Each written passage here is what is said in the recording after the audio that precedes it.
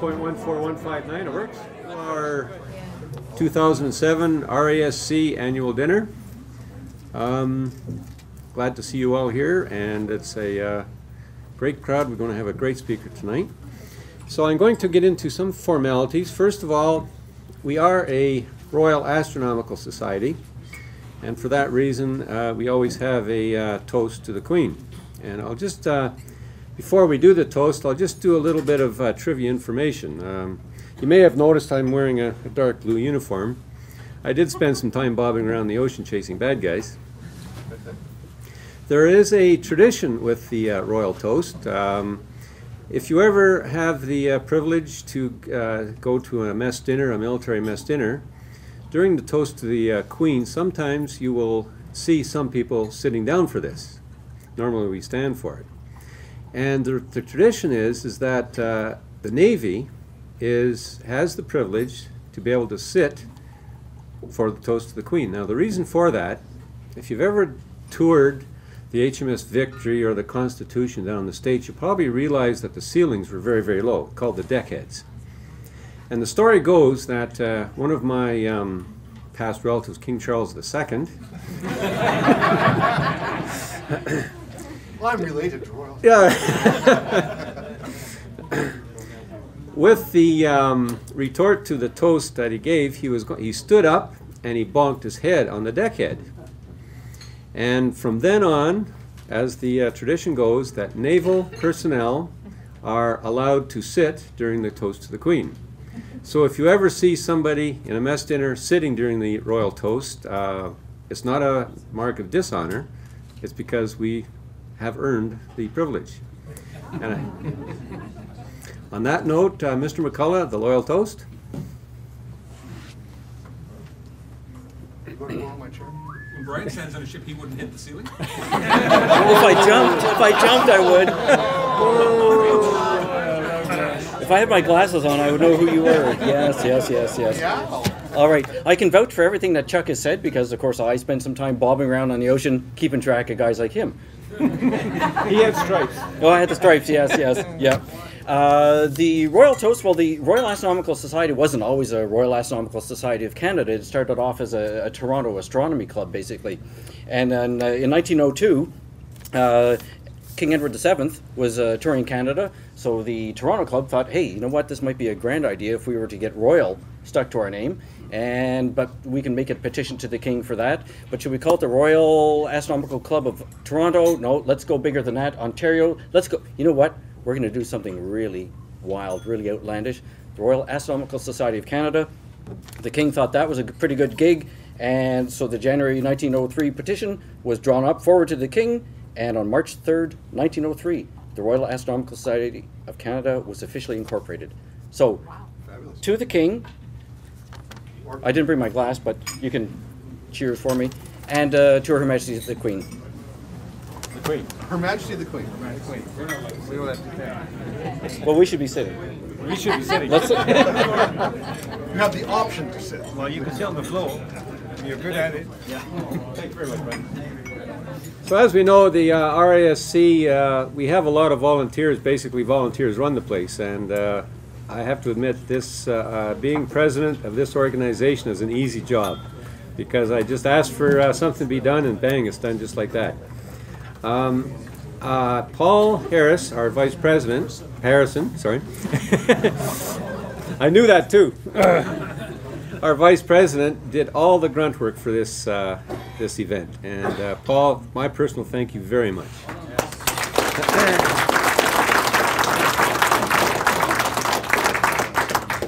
And Paul also uh, did the grunt work to get our guest speaker here. Our guest speaker happened to be in Ottawa, and uh, Paul hunted him down. And I will ask Paul at this time to introduce our guest speaker, Paul Harrison.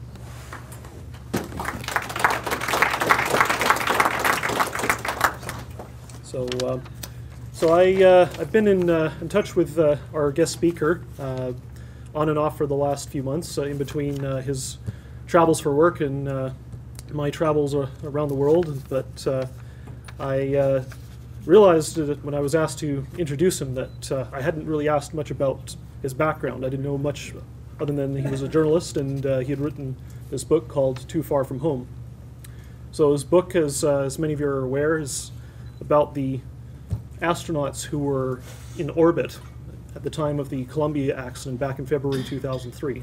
Um, and I'm sure most of us here uh, remember where we were and what we were doing at the, the time of that tragedy. So uh, I uh, have a few notes about, uh, about our guest speaker. Uh, he studied uh, urban planning, but then uh, decided that writing was his passion. He worked for the National Post as a sports writer and was named Canada's Outstanding Young Journalist. His experience there led him to write his first book called Falling Hard A Rookie's Year in Boxing, which was shortlisted for the Trillium Book Award. He later joined Esquire magazine as a contributing editor and won the 2005 National Magazine Award for feature writing for the story that became the basis for Too Far From Home.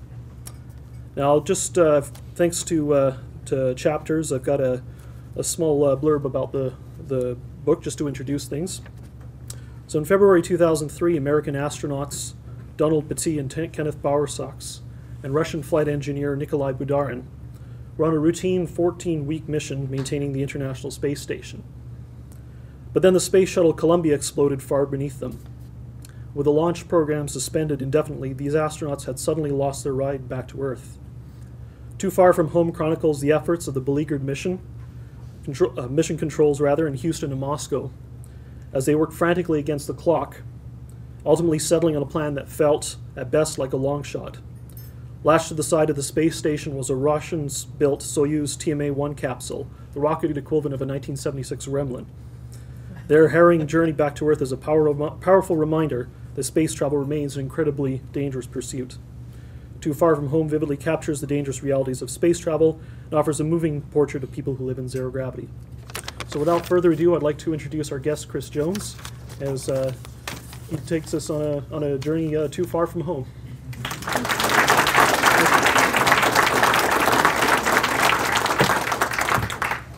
Hey everybody. Uh, first off, I'd like to thank the RAS, RASC for uh, inviting me tonight, Chuck and Paul. Uh, Paul first emailed me back in May, and he said, will you be available uh, November 16th? And I said, I have no plans at the moment. Uh, but as it turns out, this month has been ridiculous for me, and I flew in last night, and um, I'm very happy it all worked out that I can stand here before you.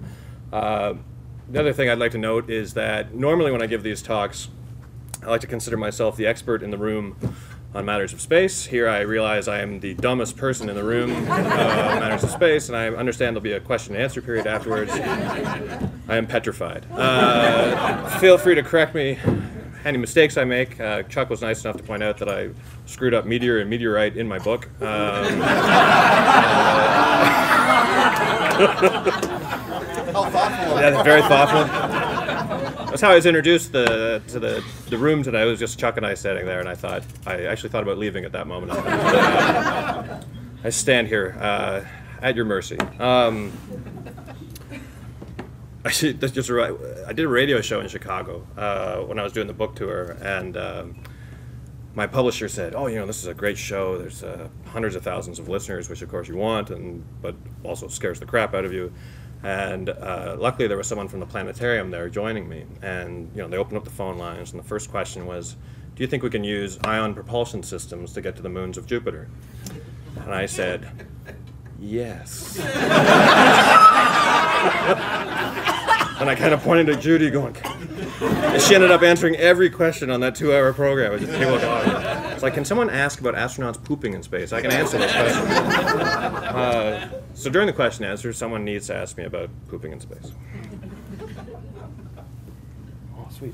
Okay, so um, the story is essentially about uh, the three astronauts who were in the space station, as Paul said, when Columbia was lost. Two Americans, Ken Bowersox and Don Pettit, and a Russian named Nikolai Budarin. Now, uh, again, not being a, I was a sports writer when Columbia um, happened. I just happened to be on my couch that morning and uh, watched the disaster unfold. And every sports writer will tell you that they hate themselves because their job is watching other men play a game and then you write about the game as if it's important. And every sports writer wants to actually find a story that is important. And for whatever reason, that morning, I immediately thought of people in the space station. And I didn't know who was up there. I had no idea their nationalities, their names, how many of them were up there. I just knew there was somebody up there. And they must have been having some kind of day. And I called my editor that afternoon. And I said, listen, we have to do a story on these guys. And he said, that's all well and good, but you understand that they're in space and very hard to talk to. And I said, you're probably right about that. Uh, and so we left it. And we thought, well, when they come home, maybe something will happen. And there was a little story in the Ottawa Citizen, like a four inch story that said, Ken Bowersox, Don Pettit, American, nearly die in the re-entry, very dramatic, blah, blah, blah. And that, that was it. I was like, nearly die. I'm intrigued. Uh, this story has become that much better. And so I said to my boss, now we must do this story. And he said, it's too good a story. Someone is going to do it before we can do it. Because to get something in Esquire magazine takes like three months. So he said, someone else will write it. So we left it alone. And no one, no one wrote it. It was one of those stories that for whatever reason just fell through the cracks. And again, I went back to my boss and I said, Can I do this story? And finally he said yes. And then I called NASA up and I said, Hey, NASA, can I do this story? And they said, Isn't Esquire a porno magazine? And I said, No. Uh, so I had to convince NASA that, yeah, I read it for the articles too. Uh, and, uh, um, and uh, I convinced NASA that it is not a porno magazine in the traditional sense of a porno magazine. Uh, and they finally let me do it. And meeting these men, um, and I can say men because, as you can see from the picture, they are all men, uh, was for me uh, probably the most gratifying experience I've had as a journalist. It, it allowed me to escape all those demons I had from standing waiting for naked athletes to come out of showers and locker rooms. Uh, and I was very glad to be able to tell their story. And I'm glad to be able to tell it uh, to you tonight. One of the things that surprised me as a newbie going into the world of space is when I pictured astronauts. I pictured Roger Ramjet, you know, guys who are six foot six with strong jaws and biceps, and and the truth is, astronauts are midgets. Um, they're very small, and if you saw them sitting in your restaurant, you would have no idea that they are capable of these heroic things. Uh, and as you can see from this picture, Ken Bowersox is the man in front with the doing the two finger salute. He's a tiny, tiny man, um, but he is uh, he's a at this point he was he had been in space four times previously, twice to repair the Hubble. Um, had been a Navy pilot, uh, had done 300 carrier landings. I mean, this incredibly brave, stout man uh, in this in this tiny, tiny form. Um, and what also intrigued me about astronauts is I thought they would be very scientific, very straight-minded, um, but in fact they're incredibly superstitious, and they.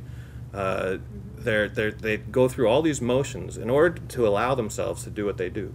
When you actually break down what they do, if you can imagine yourself strapping in the front seat of a shuttle.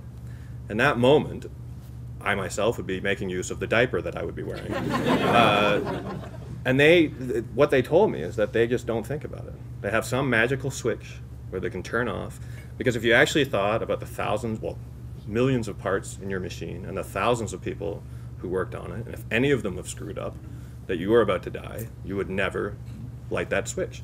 Uh, and here they are. I love this picture because they're boarding. That's called the Astro van, the silver van behind them. That is taking them to the launch. And you, I, can, I can't imagine the nerves that you were swallowing at this moment. But here you see them all smiling and happy and waving to their wives and kids. Uh, and that's they're switched off at this point. They're not thinking about what they're about to do. So there's Ken. Uh, Don Pettit is the guy in the background waving. He's got kind of sunglasses on. Uh, and Nikolai Budarin is the man to his right, the very Russian looking man, right over uh, Ken's fingers.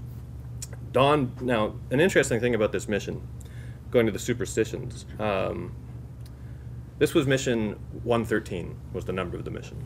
Uh, and Don Pettit was not supposed to be on this flight. There was a guy named Don Thomas who was supposed to be the science officer on Expedition 6, which is what these three guys were known as, um, the, the sixth mission to the International Space Station.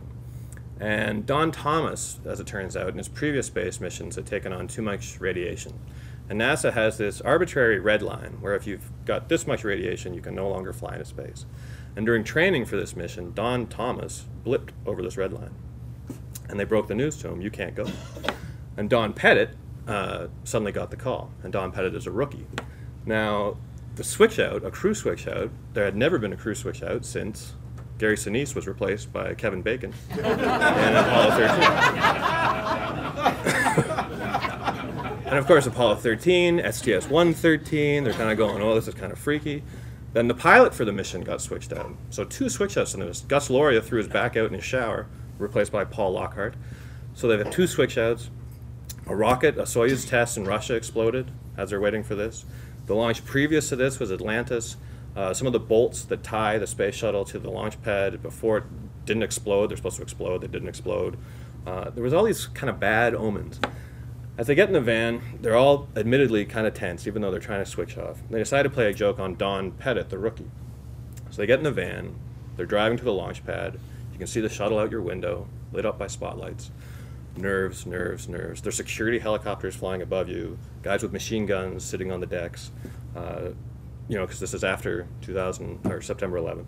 Um, and a security guard waves down the van and boards and says, "I need your security passes." And six of the astronauts pull out their security passes, and Don Pettit is going. I don't have a security pass. And the other guys turn around and look at him. They're like, We've gone through all this. We've gone through all this, and now you don't have your pass? And he's just sitting there going, God, I don't, I've never even heard of this security pass. I don't have this pass. They're like, Rookie, ruining everything, blah, blah, blah, blah. And finally, Ken Bowersox breaks a smile. Jim Wetherbee, who's the commander on the far right there, breaks a smile. And Don slides into the space under his seat. they go to the shuttle, they board the shuttle, they strap themselves in. The countdown begins. And there's an oxygen leak. They find oxygen in the space behind the cockpit, shouldn't be there.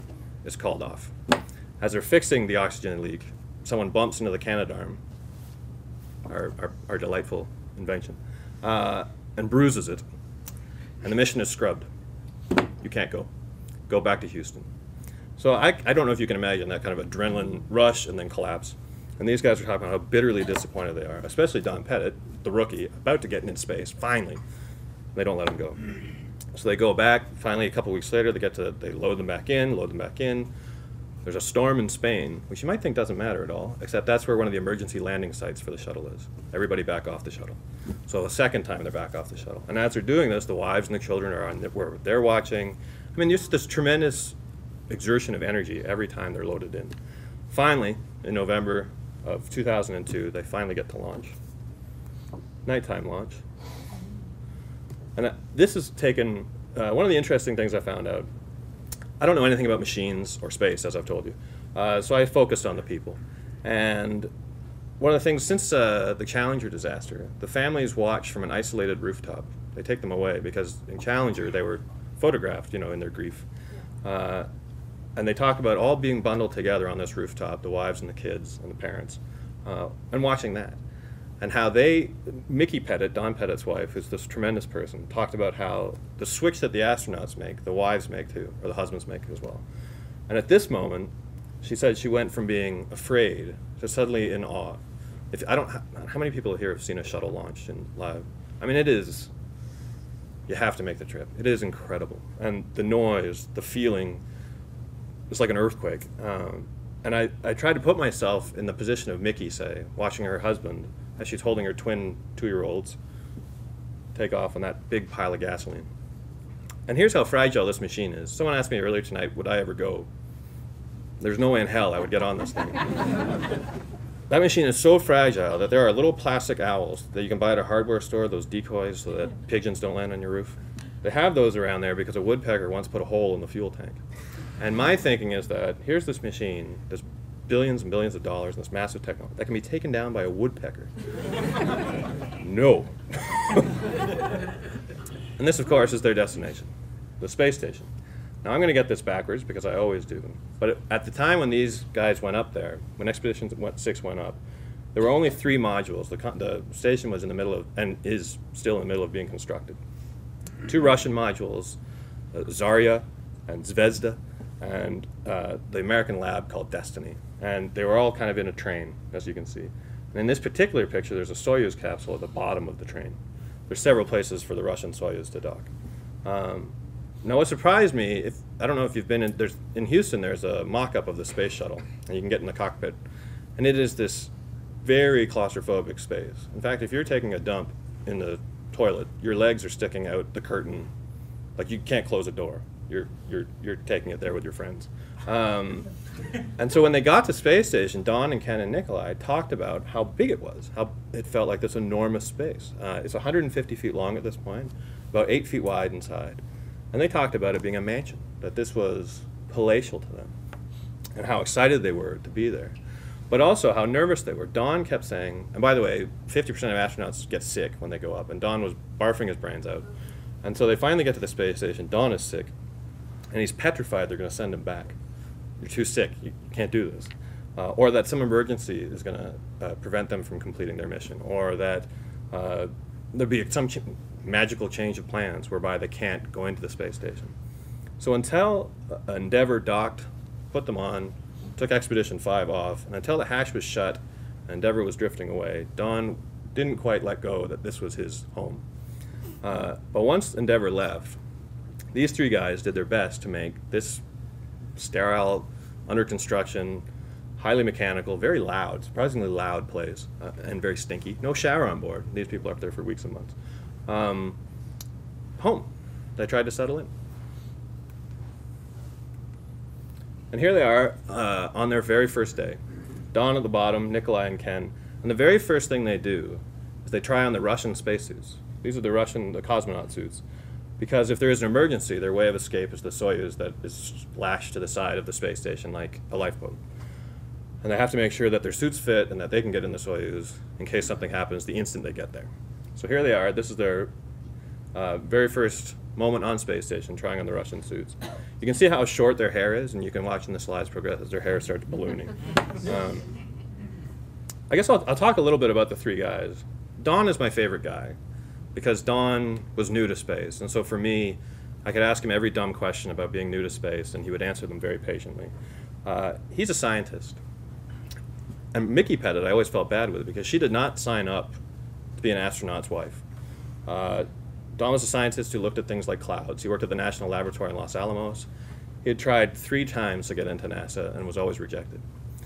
Never knew why he was rejected. I mean, it's very hard to get in. But uh, and then his fourth time, he finally got in, and now he's finally in space. Um, and for him, it was like his most perfect laboratory. He had this giant place in space, zero gravity, all these nifty machines, all these materials. He was a kid in a candy store.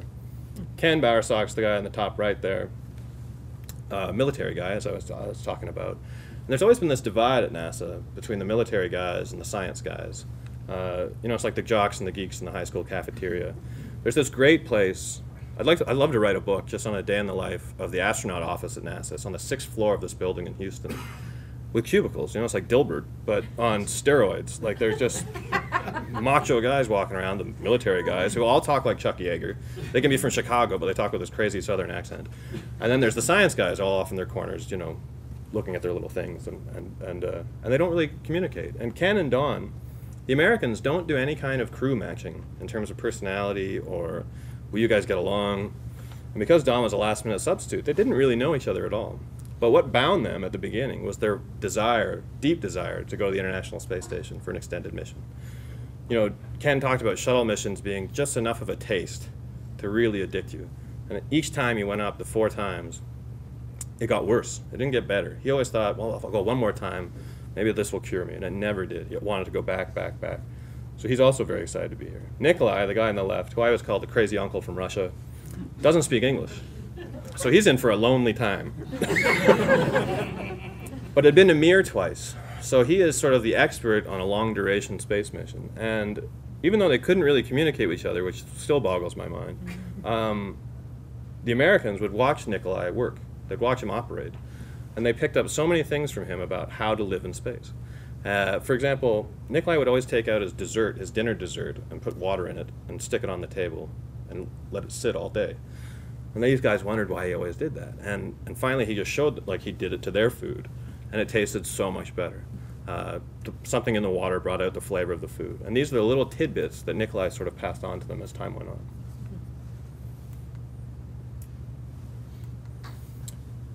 This is their giant space, uh, which to me looks like you're locked in the trunk of a car. Completely uncomfortable. This is Ken. Um, one of the things I liked about Ken, very honest guy, that pair of blue shorts, he wore those blue shorts every day he was up there. Uh, and one of the great mysteries of space, you know, what's at the bottom of a black hole and how do you get clean laundry in space, which is very difficult. And no one had figured this out. Ken figured it out. He, he, he got Ziploc bags and he squirted some water in and got some soap and he did this and he rinsed and he rinsed and he dried and clean shorts. So he wore these shorts every day he was up there. And here's Don. One of the great things about Don is he's Mr. Fix It. They've talked about the mission to Mars, and everyone in Houston is saying Don has to go on this mission because he can fix anything. This scares the people in Mission Control who don't like people to touch anything up there. Don here is working illicitly on, on a, a microgravity box. Uh, you know, this machine that was up for the previous mission, Expedition 5. They broke it within a day of being up there. And Don was sort of looking at this thing going, I can fix this. Mission Control is saying, Don, do not touch that. and Don is saying, no, no, I think I can do this. I think I can do this. No, Don, do not touch the machine. So Don turns out the radio, turns off the radio and blocks the cameras. And this is Don working on the microgravity glove, glove box, which in fact he fixed. Um, another one of the great stories about Don is when he was new at NASA. Um, again, if you can imagine how weird it is sitting in a classroom of astronauts, uh, very smart, dedicated people, heavily experienced, and they're talking about rocket propellants. And Don, when he worked at the lab in Los Alamos, occasionally might take some piece of equipment from the lab and put it in his garage at home. And eventually, he, his garage became a massive science lab.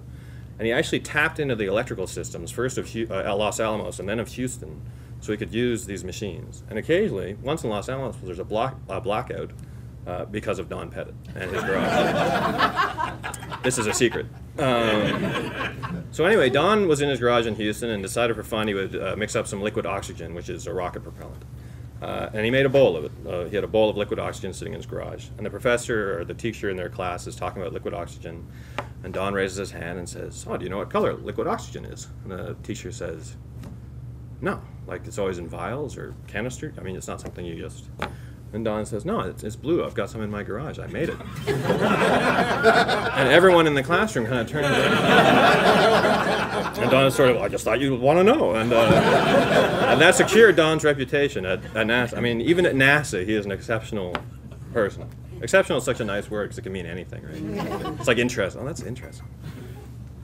And here's Nikolai. Um, very happy, not speaking English.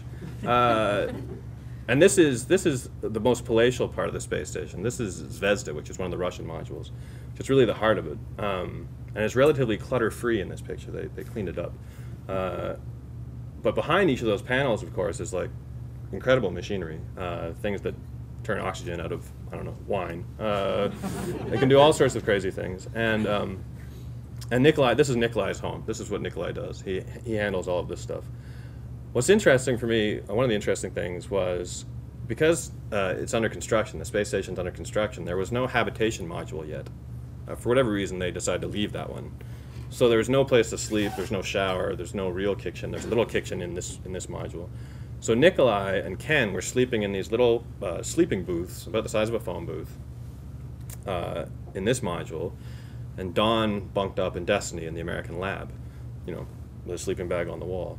And Ken hated sleeping in this part of the space station because it's very loud.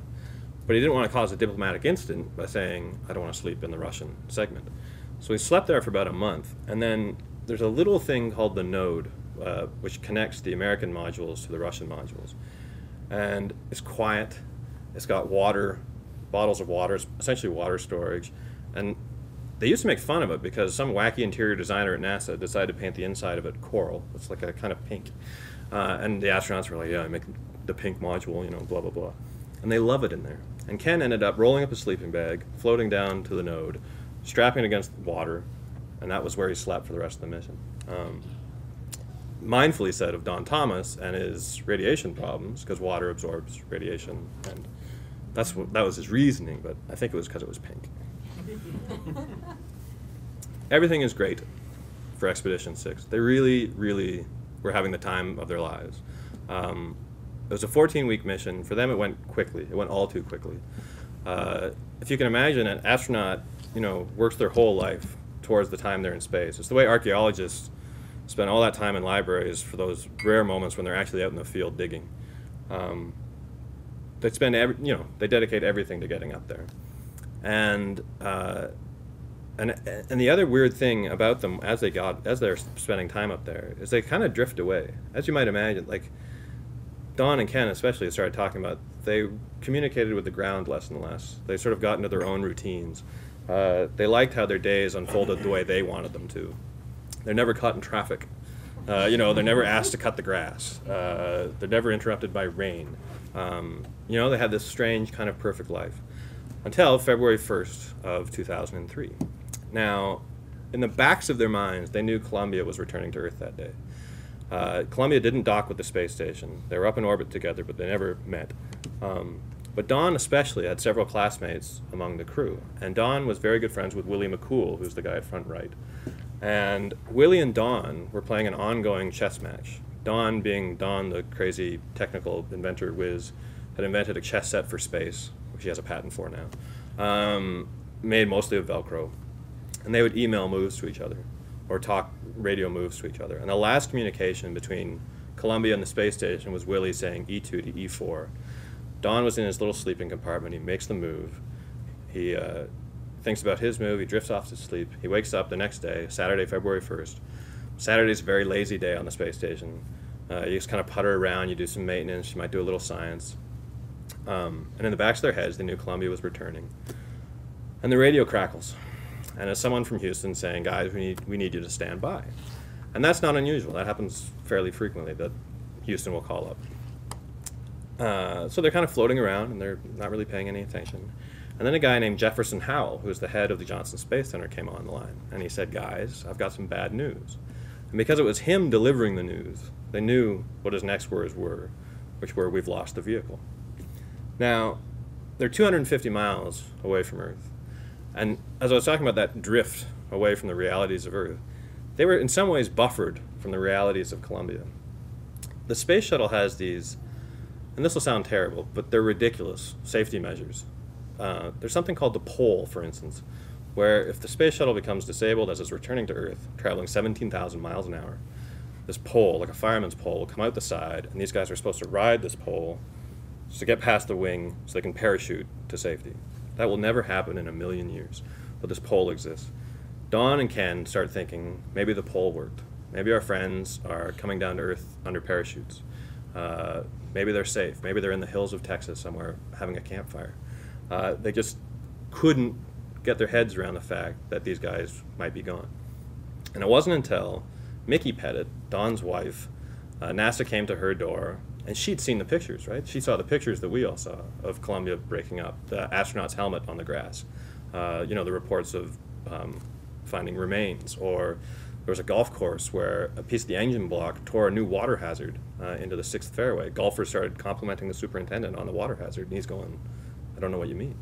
Um, Mickey saw all this. Don couldn't see all this. Mickey asked to talk to Don and called him up and said, uh, Don, uh, you know, you've, you've lost your friends. And he was saying, no, no, we're, we're confident that, that, you know, something worked, the safety procedures worked. And, and Mickey, not to be mean, she just needed Don to get to where she was.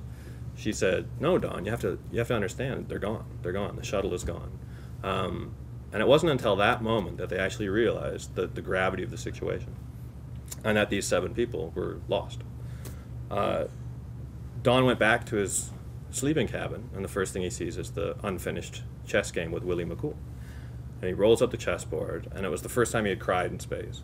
And for me, when Don, this took, a, I mean, months and months of interviews before Don admitted to crying in space. So, you know, this is this is not something that astronauts do. Um, and for me, it's, it's such a purely natural thing to do. I mean, you're you are alone and you've lost your friends. And he said he wasn't it, until that moment he realized that with your tears, they won't fall down your cheeks because there's no gravity. So he was had these pools of water around his eyes. They would knock away, and then his tears would be floating around him in this space in this uh, sleeping compartment. And he just, as he was describing this moment to me, that's when I realized like how powerful the story was. You know, the idea of these tears floating around this guy in space. Um, and for me, that's become Columbia. Whenever I think of Columbia, I think of Don and his tears in space. Uh, like the flakes in a snow globe is how he described it. Um, it was incredible, really. And and this this story, again, was just passed over. It was one of those stories that just disappeared. Iraq was happening. Elizabeth Smart, you know, a pretty blonde girl disappears in Utah, and that takes up the front pages. Uh, SARS was happening, and this story just just got lost. another interesting character in this story is Sean O'Keefe, who is the head of NASA at this time. Uh, he's uh, this is the memorial service. He's the man with the mustache in the center of the screen. Like me, he knew nothing about space when he entered this world. He was a budget slasher. His reputation was a bureaucrat that cut budgets. His last act before he came to NASA was to deny NASA funding for the space station. Then President Bush appoints him the head of NASA. As you can imagine, very uncomfortable for him to arrive there. walking down, he's talking about walking down the hallways and people kind of looking at him and you know giving him the finger behind his back. And, and it wasn't until Columbia that he kind of found his footing because he didn't know anything about space. All he knew about was money. He didn't know anything about machines, but he knew people. Uh, and in his years, uh, in his other jobs, he had, he, he had always been good with people. Uh, and interesting thing about him, even though he's a bureaucrat, he's from Louisiana, he's an Irish guy from Louisiana, swears like you wouldn't believe for a bureaucrat. Uh, and he was the first, and this amazed me too, the first NASA official, uh, administrator, to talk to the guys in the space station while they're in space. He called them from their kitchen on Christmas, from his kitchen on Christmas, um, and he became becomes sort of the central character. He's he he he is. Uh, in, in, in some ways, he's like the civilian view of all this world because he didn't know it. He, he was feeling his way as I was feeling my way through it too.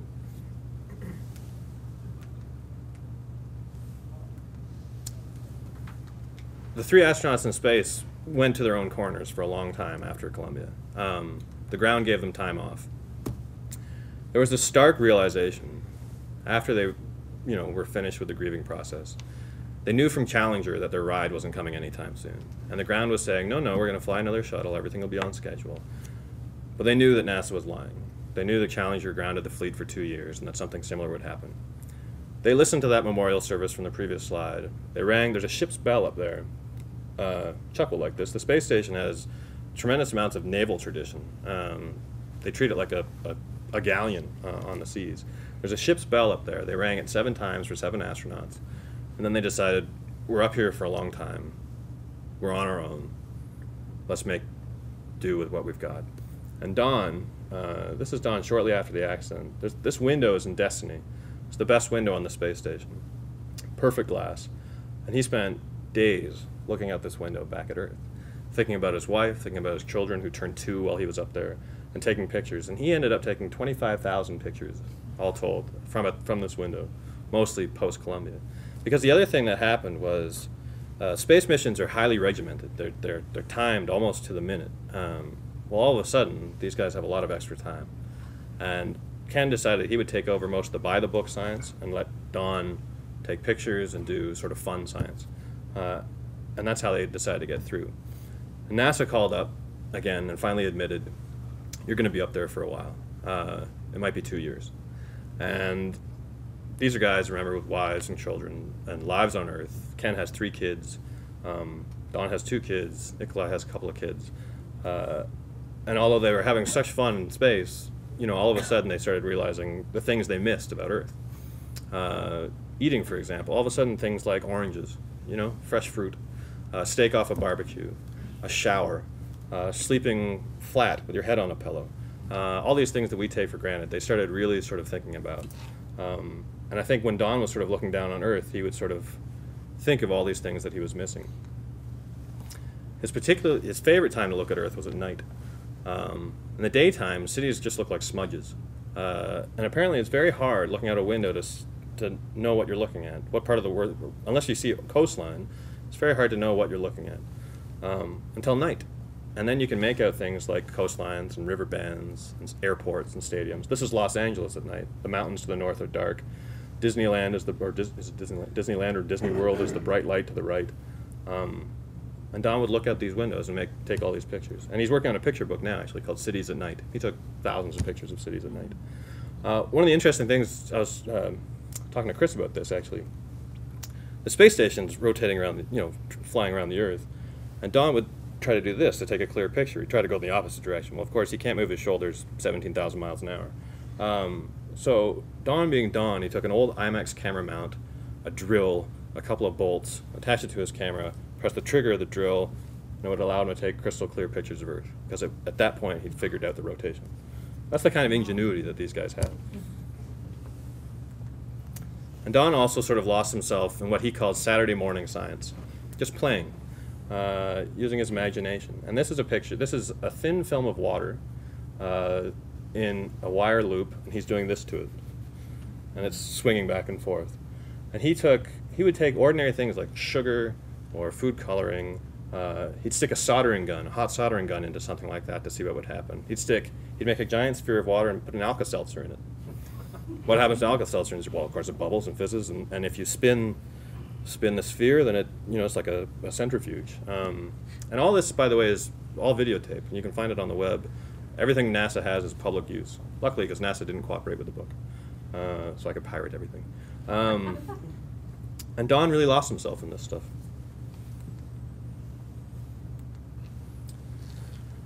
The other moment they lost themselves was when they got a call from NASA saying, "Oh, by the way, space station is falling apart." So, Just to make life interesting. just to make life interesting, because they're bored at this point. Um, and something that talking about the, the, the shuttle with the woodpeckers, the space station. There's billions and billions of dollars. Um, there's radiators outside of it to vent heat from the solar panels, and over the joints are these things they call booties, just little thermal protectors. Uh, there's a 400 degree swing in temperature in the sun and the shade, and these things keep the radiators from exploding. Well, they started coming off. They just, for whatever reason, the booties failed.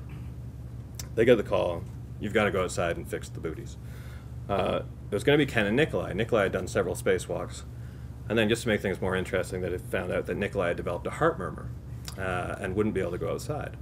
So, Don, the rookie, once again thrust into the first team, uh, has to do a spacewalk. And for me, this this was the most sort of mind-boggling part of it. I couldn't imagine the idea of opening a hatch and seeing pitch blackness because when they opened the hatch, it happened to they happened to be passing through night. Was perfect blackness, and then saying, "I'm going to go out there. I'm going to step outside." Some nut at NASA has figured out that they have a one in 496 chance of being hit by something. Those are your odds. Uh, and if you get hit by something, obviously you will either die instantly if it happens to be a big thing, or you'll have a very bad eight seconds if it happens to hit you in the arm, you know, when your eyeballs start popping out of your head. And the other fear, of course, is that if you're cut loose. And they've actually done what, what happens if you're cut loose? You float until your air runs out, and then you die like drowning. It's called hypoxia. Uh, and they've actually talked about how dreamy it would be to be the astronaut who's dying in space. They know all this. They, they study this. They're, they're taught this. And yet they open the door and go. And that, again, is that switch that I don't have. I don't have the, I can turn my terror switch off. I'm scared, I'm scared. Um, but these guys aren't. And what Don will tell you is that we make choices. Every day we make choices. If we decide to go to a movie tonight, we're taking a risk. We, we might get in a car accident. But we decide the joy of watching Fred Claus is worth the risk of going outside. It's not, by the way. Um, he's just taking that to a different scale, right? He's saying this risk is worth the rewards I'm getting. And one of the moments he described is when they went outside at night. 16 dawns and dusks a day they'll, they'll fly through every 45 minutes day night day night day night and when it's night it's really night and when they were outside to fix the booties it became night and nasa said just hunker down for 45 minutes so Don crawls to the front of the space station. Again, 17,000 miles an hour. Crawls to the front of the space station, hunkers down, turns off the lights, turns off the light on his helmet, and just looks at the stars. And I was talking to someone before, um, I'm not sure what the polite term would be. For some of you, I imagine, that would be the equivalent of a very happy moment. I'm trying to think of what the word is. I know what the word is. Um, and Don was talking about riding the front of this space station and looking up at starlight that is red and yellow and green. And I went, Red? Don, you're on crack. Starlight's white. And it's not in space. It's red and yellow and green. I was like, that's incredible. Stars don't twinkle. You know, the planets are brighter. Everything is brighter. Um, and he talked about this 45 minute ride on the front of the space station. And he said, that is my reward. That is why I do this. That is, you know, that is why I'm up here. And that's why I sacrifice everything I've sacrificed. Uh, and then in that moment, I kind of understood it. I wouldn't go up there, but I understood it. they fixed the booties with copper wire, believe it or not. Wrap copper wire around the booties, and that is what is holding the space station together as we speak. the Russians, by the way, are magical at this stuff. because of Mir. Mir suffered 1,500 mechanical failures, fires, all sorts of garbage went up on up there. And the Russians are great at fixing stuff on the fly. It petrifies the Americans because the Americans like to study, right? The Americans want to analyze. The Russians are like, no, no, fix. if you go to Russia's mission control soup in Moscow, there are cats roaming the, the aisle because there are mice, thus cats. To Russians, this makes perfect sense, right? Problem fixed. It's like the, the probably apocryphal story about the pen and the pencil, right? The zero gravity pen. Russians brought pencils, going, "What the hell are you doing with the pen?" Um, and that's that's how they're working now. And the copper wire, Nikolai is inside, going, "Copper wire, booty wire, tie." And Ken's going, "What are you talking about?" Ken, copper wire tie, good. This is Don falling out of the hatch. Um, Ken, brave Ken, brave astronaut Ken, said this was the one moment where he went gulp. He said he looked down between his feet and he saw his feet and he saw the earth and he saw 250 miles between and he went, holy shit. and then he switched that off and went, went to work. The other funny thing that they did while they were out there is um, during a previous installation, this light, this light was stuck in his lab. Everything's battened down when it gets shipped up to space, and they couldn't figure it out. So suddenly emboldened by the copper wires, Don scoots over to a tool bag. There's a tool bag outside the space station. Opens it up, and there's, for me, this is this this describes the two space programs to a T. There's the American hammer, which is a little like a watchmaker's hammer, and there's the Russian hammer, which is an eight-pound sledge with a saw in it. So Don takes this sledge. And he scoots on over to this light and he says to the ground, I'm going to hit this light with my sledge. And the ground says, Don, do not do that. Don says, No, I shall do this. And the ground says, If you do that, wait a long time before you hit it again. So Don wails on this thing. And of course, I'm going, Well, that must have made a massive clang. And he's like, I'm in space, you dumbass. There's no sound. uh, and he wails and he wails and he wails, and the light is free. Now, of course, it's all bent and dented to hell. But Don Pettit loves this. And he thinks that in 10 years, astronauts are going to be outside, they're going to look at that light and go, crap, we have been hit by a bunch of shit. it'll be Don's little hammer.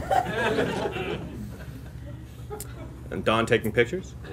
Uh, this is shortly before his ride at the front of the machine. So, yeah, that's. He's sitting on the front of the hall. It's like that Titanic scene, you know, that terrible scene. I'm the king of the world. Times a million without James Cameron messing it up.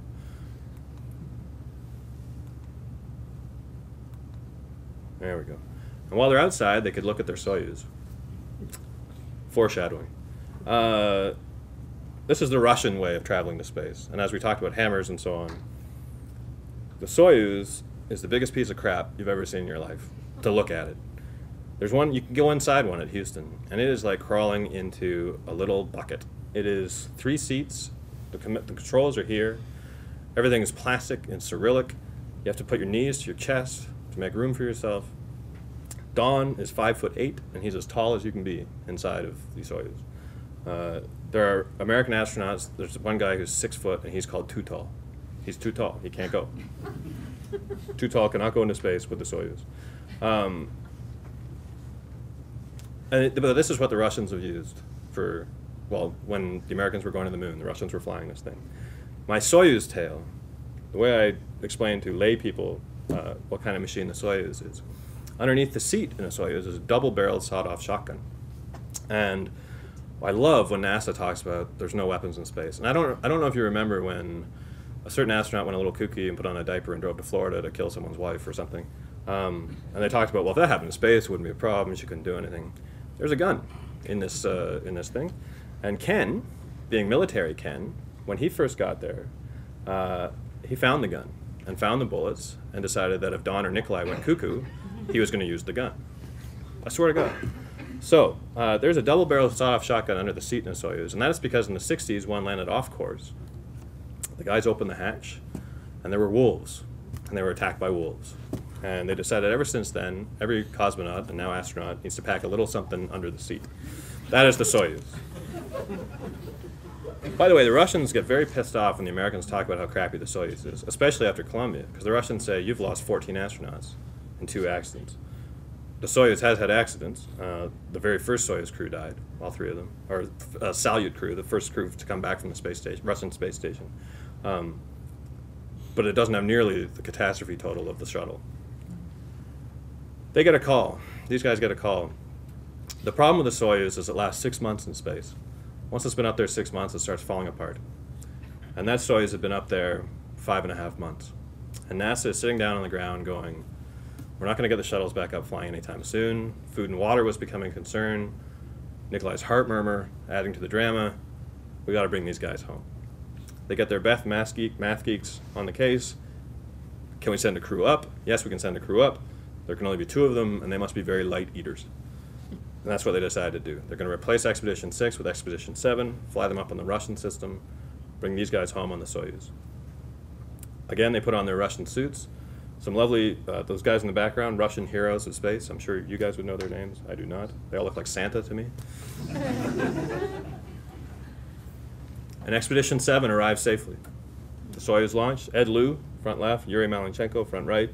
Um, they, they rocket them up to space. Everyone from America goes to Moscow to watch this happen. Sean O'Keefe, the mustachioed head of NASA, very relieved when Expedition 7 arrives. Expedition 6, they switch places. And Expedition 6 goes home on the Soyuz. They were excited. They were disappointed to leave, uh, but they were excited. Uh, Ken especially was excited to be flying a new ship. He'd flown the shuttle, he'd flown as a test pilot several naval ships. Suddenly he's the first American to return home on a foreign vessel, along with Don. And the first Americans to return home on a capsule since 1975. Uh, the Americans, understandably, fairly nervous about this. What made them even more nervous is this particular Soyuz, the TMA-1, is the first of a new model. The Americans begged the Russians to update the computer system so it didn't look like a Commodore PET, uh, and they fixed them up, but in true Russian tradition, they never flight tested it. They sent it up and thought, it'll work. The three guys were loaded in. And this will also explain Don. Very small in there, they could take home three things. When they went up, they were big duffel bags of stuff they could take up. Coming home, three things, no more, no less. Don had used chopsticks up there all the time. Um, he'd squeeze out his drinks so a sphere of tea would be in the air and he'd pinch them and eat them. He'd eat honey with his chopsticks. He used these chopsticks for everything. He has to take these chopsticks back with him. So he's telling me this story and he's going through this, and then he said, and then I had this necklace. I had Mickey's favorite necklace.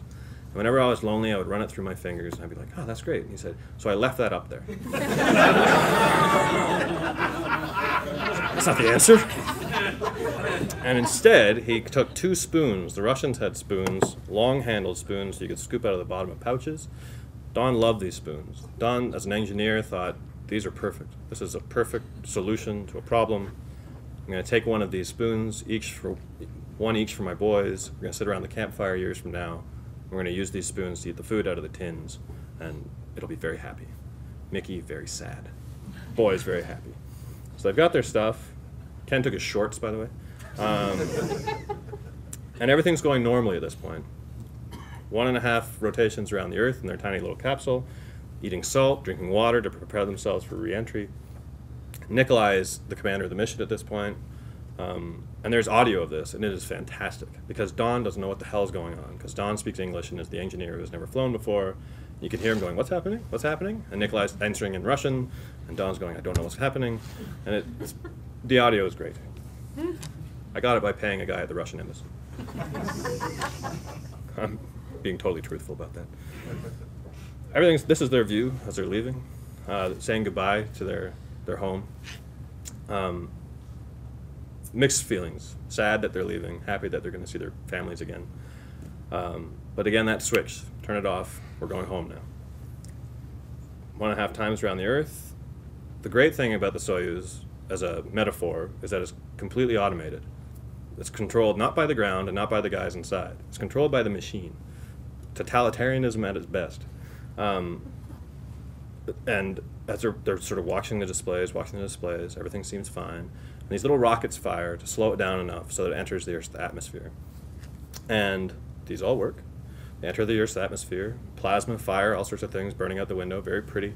It's interesting to listen to it again, the audio. You hear Don saying, That's a lot of fire. And all of a sudden, Nikolai goes, Yeah, that's a lot of fire. and kind of question, there's a question mark at the end of it.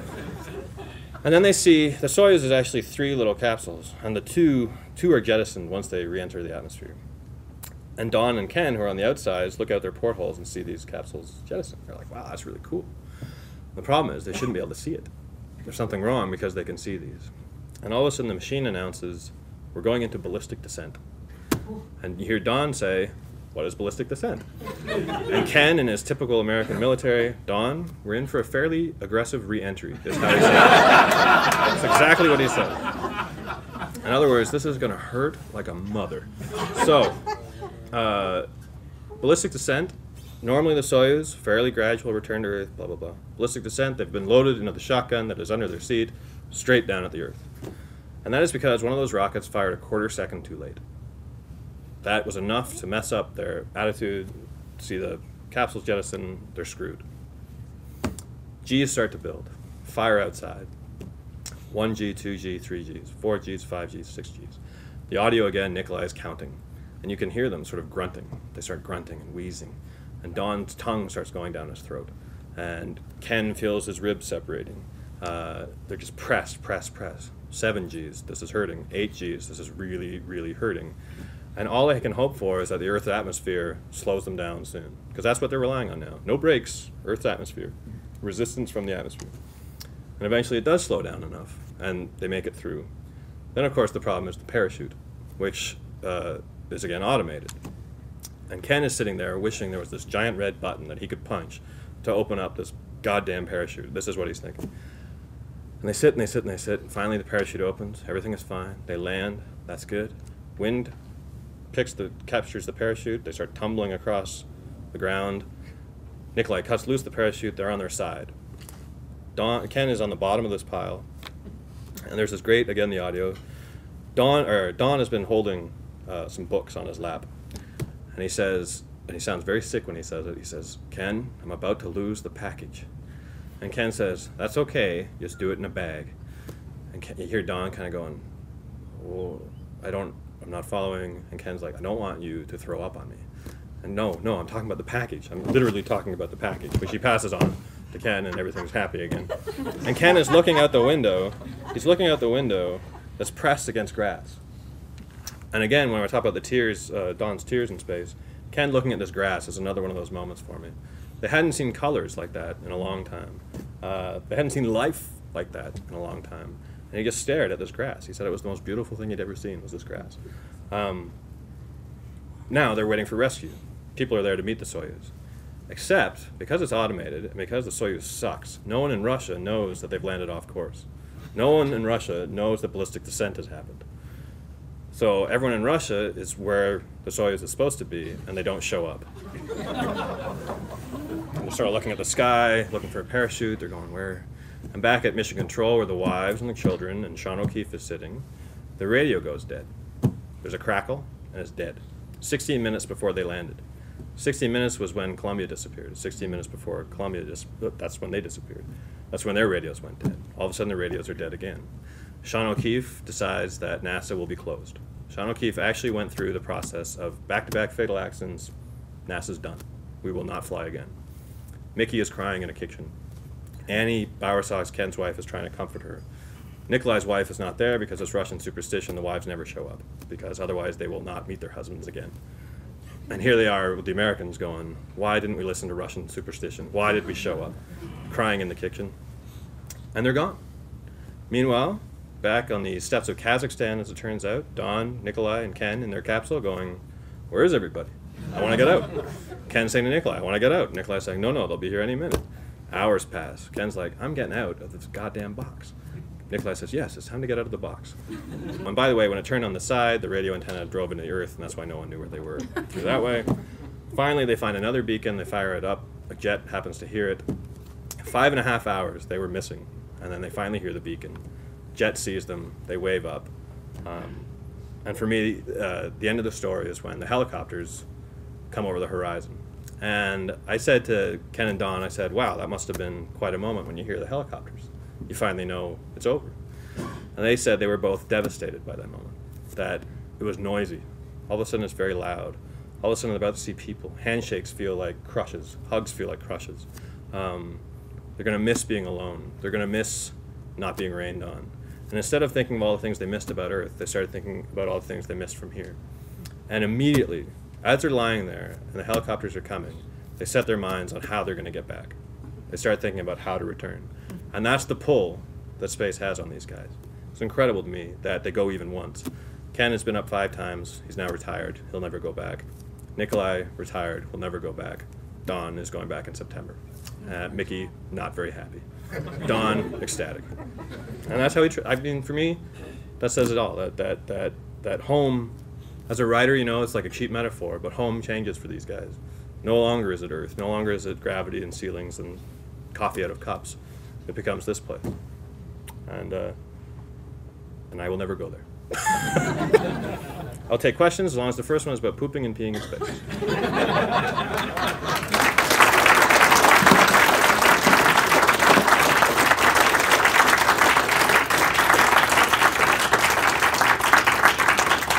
I'm sure about pooping. How many days were they up there? 160 days, um, a little under six months, and the mission was originally 14 weeks. So as it turns out, it was extended, but not dramatically. The record is something like 369 days. Um, one of the interesting things I discovered was a guy named Sergei Krikalev, a Russian cosmonaut, who's the Forrest Gump of cosmonauts. He shows up everywhere. The first time a Russian flew in a space shuttle, Sergei Krikalev. On Mir, when the coup happened, uh, Sergei got stranded up in Mir, and he's watching Russia explode. He was the last. There's a documentary I think called "The Last Soviet," um, and he he he, is, he he left the Soviet Union. He came down to Russia. He got handed a Coke when he came down. He's like, "What the hell is this?" the first crew on the space station, Sergei Krikalev. Uh, he went back up there a few months ago. I mean, this guy is everywhere. So uh, he has the record for most times in space and longest duration. But yeah, 160. The American record, I think, is 196 days. And they did poop every day. Pooping. It's interesting you ask about that. so, um, so first peeing. Uh, I couldn't put this in the book, although, but I, I make sure I tell this story everywhere I go. And please forgive me. Remember, I'm a sports writer and a meathead, and I find these things funny. So, when men would pee in space before, they would put on a condom with a hose attached to it, going to a bag. And NASA would come up to each guy and say, "What size condom do you need?" And every guy would say, I need the biggest condom you have. I am giant. I need this. And every astronaut, except for the legitimately huge ones, peed all over themselves. NASA decided this is this is not good. This is not good. So they made a template, a cardboard template with holes cut in it.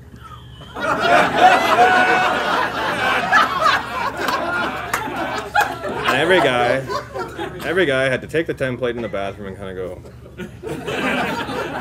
But of course, every guy said, I am huge. I am the big circle. I am this circle. And everyone peed all over themselves. So NASA takes the template and they change the labels. Because the original template was labeled small, medium, large, you know, blah, blah. Who's going to come out? What astronaut? Gonna, I need the small. No one's going to do that. So they rename it. Small becomes large. The next one becomes huge. The next massive Zeus, you know, like Godzilla at the end. Everyone's Godzilla. Everyone pees all over themselves.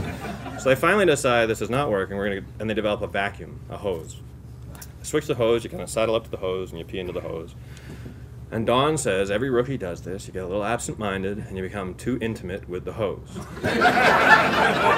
and you finally end up with that giant penis that you wanted. a different color than it was when you went up. Uh, what was it like uh, getting access to the astronauts uh, for the stories you went through uh, through NASA? Well, NASA is. Um, Speak to the lady with the British accent there. Or? I did actually. Is there only one lady with a British accent at NASA? Are we speaking? Okay.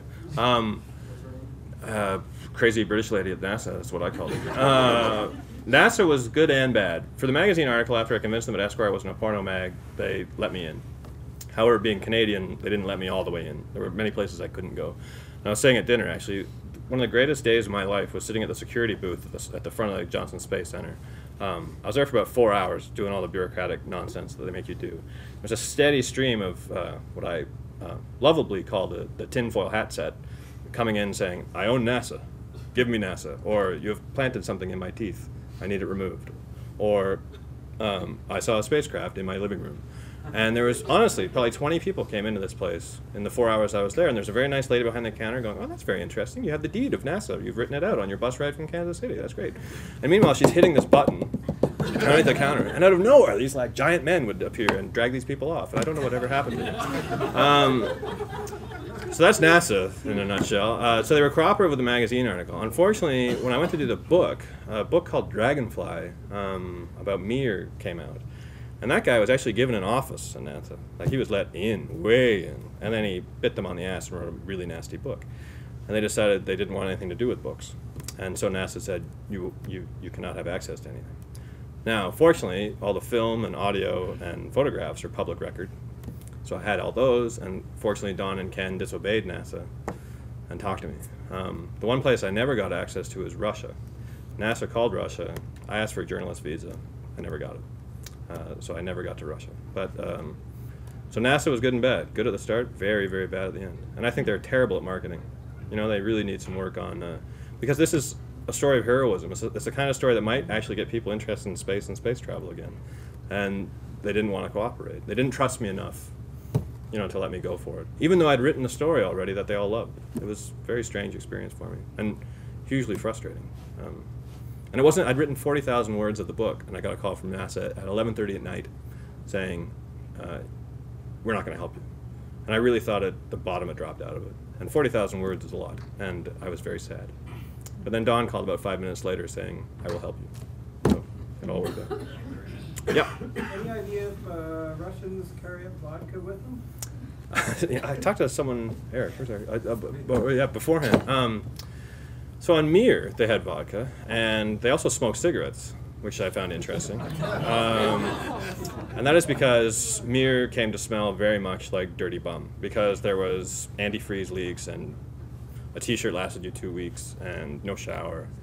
And so they started smoking, not I think for the nicotine rush, but for a change of whiff, essentially. Um, now the Americans are like, you can't smoke in the space station, and you can't drink in the space station. And again, I didn't put this in the book because Don asked me not to, but Don, being Don, magical inventor type, Don's garage, in addition to a science lab, is also an incredible brewery. Um, kegs and kegs and kettles and delicious. So Don made hooch in space. Um, there was a point on one of the hashes where it was ice cold. Uh, for I don't, I don't know how you make liquor, but the cold was good. Um, and he made hooch, and they and they drank the hooch, and they did not die, and they enjoyed the hooch. So they have no real booze up there, but they make it. Yeah. Um, I was given your book as a present by my lovely wife, and. and Are you gonna break up with her now? No, no, I love her even more. Ah. But, Good answer. Uh, I thoroughly enjoyed it, Thanks. and. Um, There's a bud coming, by the way. Yeah, no, it, it was a really uh, refreshing way that you told the story. It was very different from the other many books I've read on similar subjects. Um, does it taste like more? Sorry. Are you going to do another one? Are you Oh. Are there any other stories to tell? I think there are many stories to tell. Uh, I'm about to do a story on Steve Fossett, uh, who I found I found it very interesting that in this day and age someone can disappear. Um, uh, I'm probably gonna I'm hoping to do a sequel when Don goes back up, uh, and hopefully doesn't have quite the same drama. Um, I have become a space guy, um, which is strange for me because I was not at all. Uh, but now I actually pay attention, and um, well, and as I'm sure most of you feel, uh, I, I now wish other people paid attention. I feel like I have to be on this campaign. Like this is this is incredible. Every time a shuttle takes off, it's a miracle.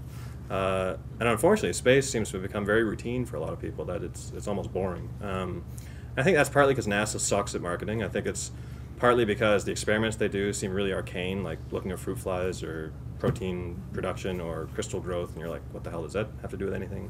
Um, but if you really get into the stories, again, particularly about the people, like you get into the family drama. Um, here's a little story I forgot to tell. Uh, the, the, the, the, the homes, you know the story, the, the, the, if you actually did read the book.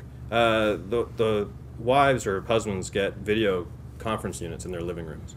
And once a week, they're allowed to talk to their partner in space, and they're told this is a private channel, this is their conversation. So Don is up on the space station, and Mickey is down in the living room, and it's seven in the morning, and she's got her cup of coffee and her bathrobe on, and the kids are asleep. And Don says, "You know, uh, Mickey, I'm kind of lonely up here." And Mickey, they start talking kind of naughty, and uh, and all of a sudden Mickey goes and gives Don a little show, and 30 seconds later there's a knock at her door, and there's a car parked on her lawn, and a kid going, ma'am, don't do that again.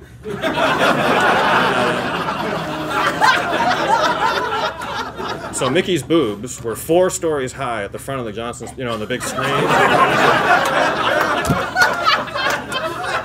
Those are the stories that I like. So I actually, I actually did, I do still want to do something on the people at home. Because I, I got into it in the book as much as I could for the space in the book, but I still think there's something great to be written on astronaut families. Like, um, and actually, the book uh, has thankfully been sold for movie rights, and they're writing. And I, I hope they spend a lot of time on the families. Like, I, I think, for me, that's half half the story. Another little detail: um, Ken's kids were older than Don. I mean, Don's turned two while I was up there, and never quite understood what was going on. Ken's kids, the youngest was six, and knew better. And you can actually, I'm telling you this, but I'm sure you know, you can see the space station as it flies overhead. This little white light, yeah. Um, and they would track it on their computer, and they would time it, and they would run outside, and if the timing was right, they would see this white light come over the trees, and their daddy, right, in this light, and Luke, the six-year-old, uh, would take off running after it, thinking that he could cover enough of the curve of the Earth to catch a little more of Dad. And of course, the light would always disappear, and Luke would be heartbroken. Um, but for me, those moments, like the idea of kids chasing the space station so they can see their dad, I, I don't understand how that is not compelling enough for people to be interested in it. Uh, and those are the stories that NASA needs to tell, I think. But it's a very convoluted answer to your question. But it did allow me to talk about Mickey Pettit's boobies, which are spectacular. How long did it take you to write the book or the story? Um, the story was quick. The story I wrote on the plane ride home from Houston, um, like 8,000 words just barfed out of me. Um, when you're a writer, you get moments. Uh, I call them cha-ching moments, like when you're talking to a guy and little cash register goes off in your head. Um, and Don would talk, say about his tears, or Ken talking about his kids running on the street, and I would be like cha-ching, cha-ching, and there were so many cha-chings, and it just came out. Um, the book probably took me two years, I would say.